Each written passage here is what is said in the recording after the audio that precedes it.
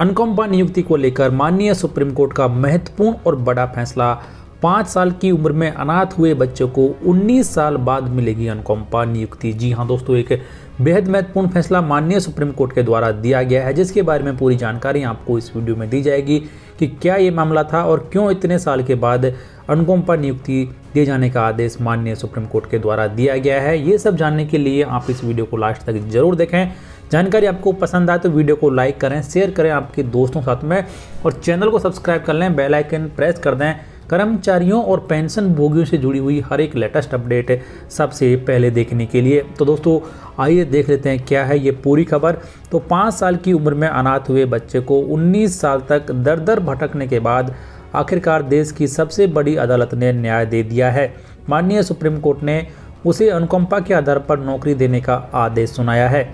Justice Hemant Gupta और justice Vikram नाथ की पीठ ने उत्तर प्रदेश सरकार को इस दलील की, को खारिज कर दिया है कि इतने वर्षों के बाद अनुकंपा के आधार पर नौकरी देना गलत नज़ीर बनेगा। पीठ ने कहा कि अगर यह गलत नज़ीर है तो गलत ही सही। वर्षों तक जिन मुश्किल हालातों से बच्चे को गुजरना पड़ा है, उसे भली भांति समझा जा सकता है। सुनवाई के दौरान पीठ ने यह भी पाया कि नाना के पास रह रहे बच्चों को पेंशन समेत अन्य वित्तीय लाभों से 15 वर्ष से अधिक समय तक वंचित रखा गया। पेंशन व अन्य बकाया भी उन्हें वर्ष 2019 में तब मिला, जब राज्य सरकार के खिलाफ अवमानना याचिका दायर की गई। पीठ ने आगे कहा कि यह तो राज्य सरकार के खिलाफ जुर्माना लगाने का उचित मामला है।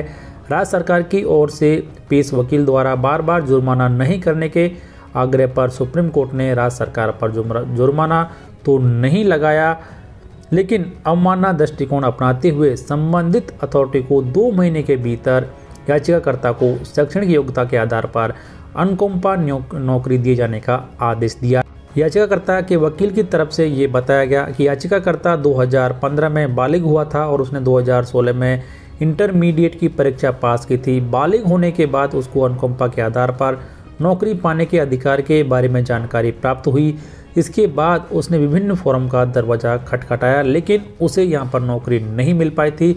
और अब माननीय सुप्रीम कोर्ट ने 19 साल बाद अनुकंपा नियुक्ति जा, दिए जाने का आदेश उत्तर प्रदेश राज्य सरकार को दिया है और ये भी साफ़ कर दिया है कि कितने भी साल के बाद एक सरकारी कर्मचारी के आश्रित को अनुकंपा नियुक्ति दी जा सकती है, क्योंकि यदि परिवार की हालातें अच्छी नहीं हैं और कोई कमाई का सोर्स उनके पास में नहीं है तो कितनी भी साल के बाद परिजनों को अनुकंपा नियुक्ति दी जा सकती है, क्योंकि इस मामले में जो बच्चा था, वो पाँच साल की उम्र में अनाथ हो गया था। उसके बाद में जैसे ही वो बालिग हुआ, उसने अनुकंपा नियुक्ति के लिए आवेदन किया, लेकिन उसके आवेदन को स्वीकार नहीं किया गया। और ये मामला फिर माननीय सुप्रीम कोर्ट पहुँच गया, जहाँ पर माननीय सुप्रीम कोर्ट ने महत्वपूर्ण फैसला दिया है और फैसले के दो महीने के अंदर उत्तर प्रदेश राज्य सरकार को अनुकंपा नियुक्ति दिए जाने का आदेश दिया है। तो माननीय सुप्रीम कोर्ट के द्वारा दिए गए इस महत्वपूर्ण फैसले के बारे में आपकी राय कमेंट बॉक्स में लिखकर ज़रूर बताएँ। वीडियो को लाइक और शेयर करें, चैनल को सब्सक्राइब और बेल आइकन प्रेस कर लें। हर एक यूजफुल अपडेट सबसे पहले देखने के लिए धन्यवाद।